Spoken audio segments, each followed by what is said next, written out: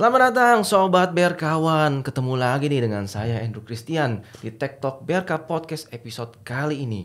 Tentu saja hari ini kita akan ngomongin terkait dengan Opus B. Salah satu dari fitur-fitur yang ada di Opus B nih. Nah saya hari ini ditemani oleh salah satu ahli di Opus B.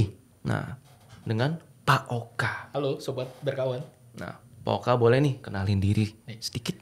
Saya Oka dari Product Development Opus B Salam kenal Sobat Berkawan Oke, nah hari ini kita mau ngomongin mengenai IAM atau Enterprise Asset Management. Nah, ini adalah salah satu modul dari Opus B yang eh, mungkin mulai lumayan banyak ya di tahun ini Iya, untuk peminatnya ya. Nah, kalau boleh ceritain sedikit nih, eh, Enterprise Asset Management itu apa sih? Oke Coba Pak Andrew bayangkan ya sebuah perusahaan yang menggunakan mesin dalam jumlah banyak. Kira-kira kita mengontrolnya seperti apa? Memonitoring mesin itu seperti apa? Apakah manual? Nggak mungkin Hmm. Terlalu banyak Mungkin kalau yang masih belum pakai Excel kali ya, Iya. minimal Excel kali ya. Dan kalau kita menggunakan secara manual, kemungkinan human error tinggi sekali, Pak Andrew. Hmm. Jadi di situlah eh, aset enterprise management ini berperan. Jadi fungsinya adalah kita memonitoring ya, aset perusahaan berupa mesin ataupun factory segala macamnya. Mm-mm. Tujuannya apa? Tujuannya supaya kita bisa memaksimalkan fungsi dari si mesin itu sendiri. Hmm. Jadi jadi kita nggak perlu nungguin ah kok tiba-tiba mesin ini mati atau dia perlu maintenance nggak perlu. Jadi dengan IAM Mm-mm. kita bisa dengan duduk tenang kita bisa pantau itu secara otomatis ya Mm-mm. melalui aplikasi untuk kita melakukan misalnya maintenance besar berkala Hmm. gitu. Kemudian kita bisa tahu historical maintenance-nya dia seperti apa. Kemudian ha, cost yang kita sudah keluarkan terhadap aset itu seberapa banyak itu kita bisa pantau sebenarnya dari aplikasi ini. Oke, berarti itu anggapannya kayak ada fitur-fiturnya ya dari si IAM ini kayak tadi mungkin untuk yang preventive maintenance berarti ya untuk corrective maintenance. Nah, ada lagi mungkin uh, fitur-fitur utamanya nih si IAM ini apa aja sih kira-kira? Iya, sebenarnya fokusnya sebenarnya kita adalah itu. Jadi bagaimana kita memaksimalkan ya, aset sebuah perusahaan ini supaya bisa memberikan benefit yang lebih. Jangan sampai ya aset sih kita sudah sering maintenance maintenance ternyata lebih besar nih pemakaiannya gitu costnya ketimbang dari manfaat yang kita terima. Ah, oke. Gitu. Kira-kira paling efektif nih Hmm. perusahaan apa sih yang wah kayaknya wah butuh banget nih. Ya, sebenarnya nggak nggak nggak terpaku sama ini ya. Pasti setiap perusahaan itu dia punya ada asetnya lah. Betul, betul. Ada aset yang kita bisa pergunakan ya. Dalam mungkin dalam hal skala kecil nih, misalnya perusahaan pasti dia minimal punya AC, punya kendaraan ya. Yang mana kendaraan operasional itu kan kita mesti maintain nih. Betul, betul. Jangan sampai pas kita perlu ternyata wah mesti masuk bengkel nih, mesti ada perawatan ini nih, Repot. repot, juga kan. Betul. Jadi kalau ditanya perusahaan yang mana, pasti semua perusahaan dia memerlukan ini aset. Tapi kita mesti timbang juga nih, ya. Karena misalnya nggak semua aset yang kita perlu maintain gitu. Misalnya kalau kita berbicara sebuah pabrik gitu ya, dia kan ada mesin produksi yang harus bekerja 24 jam. Nah ini yang mungkin jadi fokusnya sebuah perusahaan nih. Gimana sebuah mesin yang bekerja secara 24 jam ini bisa terus konsisten memberikan hasil yang eh, efisien ya dari segi cost maupun dari manfaat yang diberikan terhadap perusahaan. Pasti itu yang eh, sifatnya manufacturing itu pasti itu ada muncul kan. Ada juga misalnya perusahaan di, yang bergerak di bidang kontraktor mining. Hmm. Dia punya ekskavator, dia punya dump truck, punya Wah. alat-alat yang untuk produksi itu juga kan dia perlu di maintain ya. Jangan Iya. sampai lagi nih balik lagi ketika kita perlu barang itu apa aset itu harus uh, di down karena perlu maintenance ataupun ada yang bermasalah gitu. Kita sebenarnya fungsinya adalah meminimalisir masalah terhadap si aset ketika kita butuhkan itu fokusnya. Berarti ada mungkin kayak ada alert kali ya dan Pasti. reminder ya ketika mungkin Reminder ketika dia harus ada melakukan maintenance secara berkala gitu kan. Hmm, betul, Kemudian kita juga sebenarnya bisa apa namanya berkolaborasi juga dengan IoT. Oh, oke. Jadi dengan IoT ini kita bisa mendapatkan update secara real time Mm-hmm. mengenai kondisi si aset itu sendiri. Oh, Jadi oke. pemakaiannya dia sudah berapa banyak, berapa kilometer yang sudah digunakan, jam hournya gitu ya bisa digunakan. Kita bisa pantau itu secara real time. Tapi real time ini yang penting kuncinya real time. Ah, Nah, Untuk oke. kita bisa mendapatkan informasi yang real time ini, kita ada kolaborasi dengan yang namanya IoT. Hmm.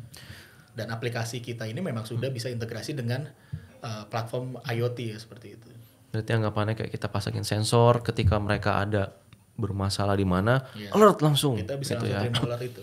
Jadi kayak mungkin anggapannya eh, jangan sampai nih ya tiba-tiba di tengah jalan produksi eh, rusak gitu kan atau kena perawatan belum melapa- perawatannya lama lagi Iya. wah produksinya bisa mundur sebulan ketunda. Dan itu bisa menyebabkan anggapannya eh, penurunan ya dari produksi penurunan, penurunan produk terus juga ber- berkurang, barang yang dikirim ke customer juga berkurang, bermasalah gitu ya. Dan ujungnya apa? Tagihan. tagihannya juga jadi bermasalah Iya, kita nggak gitu kan? semuanya. Betul. Betul jadi anggapannya NG-nya banyak. Jadi dia mesti keluarin lagi tuh apa material-materialnya. Padahal harusnya nggak sebanyak itu pemakaiannya. Iya. kurang lebih seperti itu ya. Nah ini kalau boleh tahu nih mungkin ya selain IoT nih. Hmm, dia ke mana lagi sih untuk integrasinya?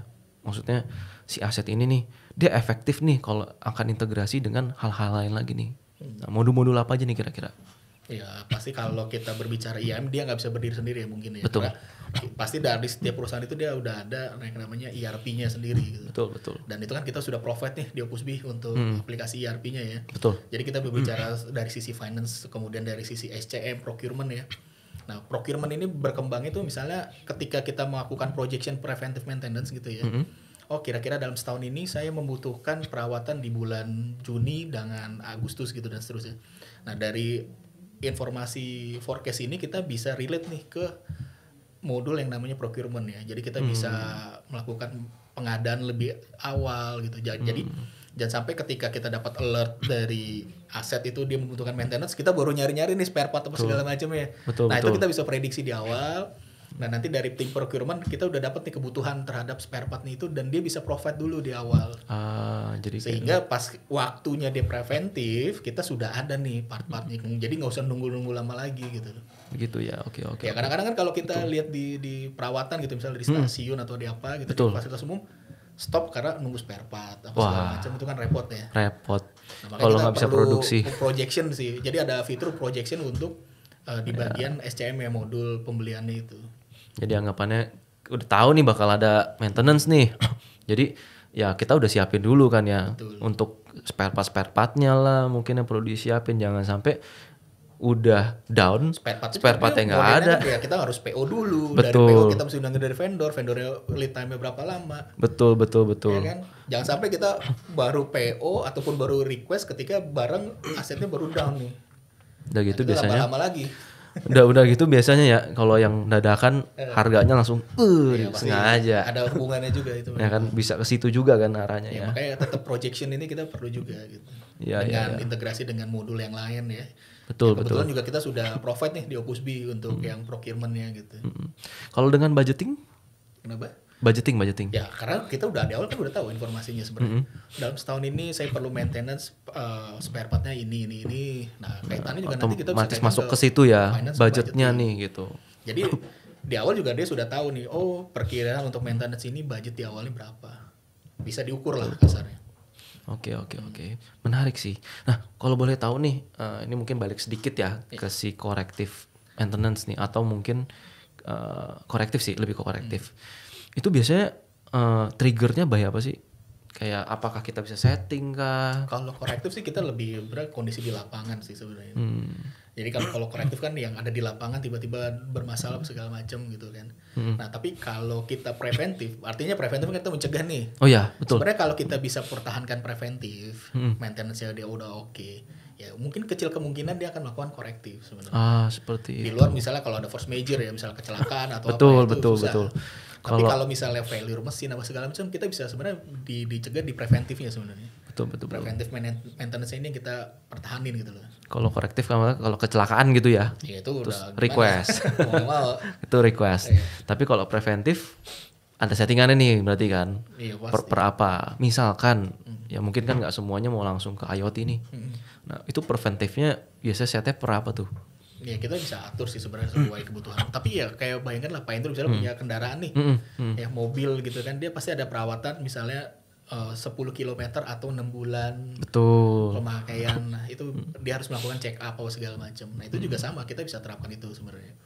Oke oke oke. Jadi kayak Kalau misal pun kita nggak bisa integrasi secara real time dengan IoT, ya Hmm. mungkin kita untuk pemakaian hour meter kita bisa input by manual dulu. input mungkin itu bisa gitu ya.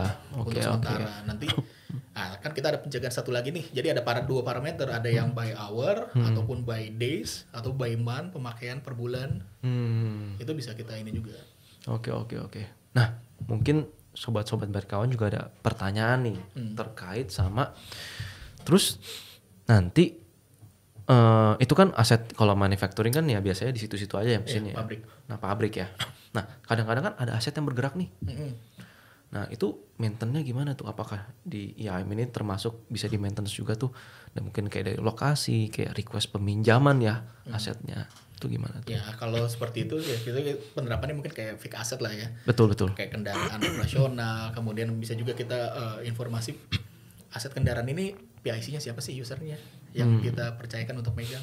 Nah itu juga kan kita terrecord ya semua di sistem ini ya. Jadi semuanya juga nggak masalah sih kalau untuk yang itu. Sampai ke lokasi berarti ya? Ke lokasi. Lokasinya mungkin kayak oh di lantai berapa, pinjamnya ke mana? Atau mungkin kalau nanti mau lebih advance lagi itu kita bisa gabungkan dengan GPS sebenarnya. Oh wow. Di GPS. Jadi pencatatan pemakaian itu kita dari by GPS itu. Oke oke oke. Bisa juga kita integrasikan. Jadi Kalau- untuk rutin maintenance rutinnya ya kita bisa atur di situ. Kalau RFID bisa juga berarti? RFID bisa. Sebenarnya ya inilah keunggulan dari Opus B ya. Kita eh, sebenarnya open terhadap semua apa? Teknologi ya? teknologi. Jadi kita bisa berintegrasi dengan berbagai macam teknologi IoT lah, kemudian robot automation gitu kan kalau memang dibutuhkan. Iya ya. Soalnya kan mungkin kayak kayak di rumah sakit ya contohnya. Rumah sakit kan kadang-kadang alat itu kan berpindah-pindah tuh. Mm-mm. Ya kan? Kadang-kadang wah lantai berapa nih, ruangan berapa nih? Wah kalau nggak pakai IAM pusing Iya. Apalagi rumah sakit itu Apalagi rumah sakit ya, misalnya tiba-tiba ada pasien yang urgent perlu pemakaian sebuah alat ternyata Iya. kan, wah repot juga. alatnya gitu. di mana nih? Wah ternyata masih di maintenance. Wah Iya, gawat. susah itu nanti. Itu lebih bahaya lagi Lebih bahaya lagi ya. Orang gitu Hidup ya. dan mati itu anggapannya. Iya, iya. Oke. Nah, kalau pengen implementasi nih anggapannya, eh, ada kebutuhan nih mungkin dari so- sobat berkawan. Mereka perlu siapin apa aja sih kira-kira?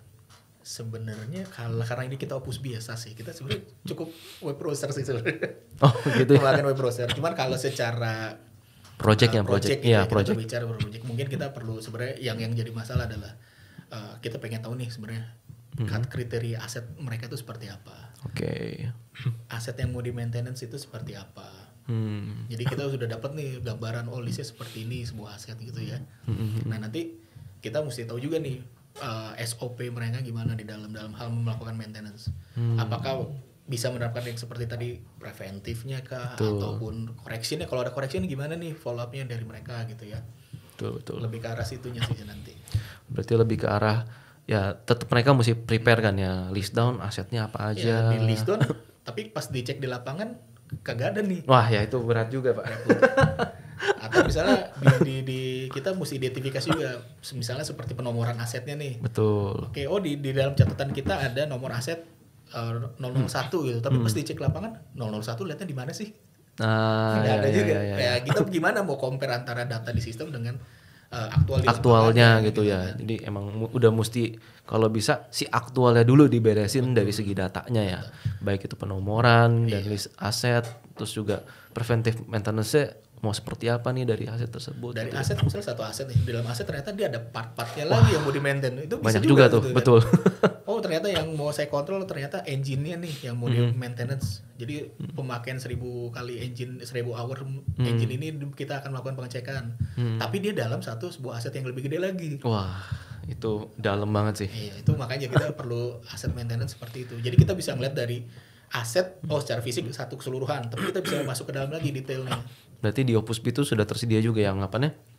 Aset dalam aset seperti itu. Iya pasti lah. Karena kan banyak pak. Kalau untuk yang kita bicara mesin sebuah pabrik gitu ya, Mm-mm. ya cuma satu gelondongan, tapi di dalamnya kan banyak. Ada filternya lah, ada engine-nya. Betul, betul. Nah itu kan mesti dikontrol. Kalau nggak dikontrol, ada yang loss satu, impact semua Betul. ke dalam aset. Semua bermasalah pasti. Iya betul. Nah, maka itu memang mungkin ini cukup penting banget ya Pasti, si enterprise asset management ini. Terutama mungkin kayak seperti untuk perusahaan-perusahaan manufacturing, Manufacturing, ya. terus juga kayak construction, Kontraktor, kontraktor, tadi ya iya. untuk yang uh, mining ya, tambang ya, gitu. Ataupun misalnya dia kontraktor jalan gitu kan. Betul, betul. Jalan konstruksi. konstruksi, ya ya ya untuk mesin-mesin. Banyak alat beratnya kan yang Alat berat, terus rumah sakit juga itu sakit butuh bisa. juga butuh banget ya berarti oke kalau gitu thank you nih sobat berkawan karena udah join di Tech Talk BRK Podcast episode kita kali ini untuk membahas tentang enterprise asset management nah kita tahu ya sekarang untuk IAM itu sangat dibutuhkan sekali terutama di perusahaan-perusahaan yang memiliki mesin ya seperti manufacturing, construction, mining, uh, rumah sakit. Nah, itu benar-benar butuh banget untuk ya maintenance skala uh, semuanya secara keseluruhan lah. Nah, bagi sobat berkawan yang mau langsung nih mungkin tanya-tanya nih tentang Opus P, tentang IAM, bisa langsung kontak link kita di bawah ini. Nah, dan jangan lupa like, subscribe, dan komen. Nah, saya Andrew Christian dan Saya Oka. nah, sampai jumpa di episode berikutnya.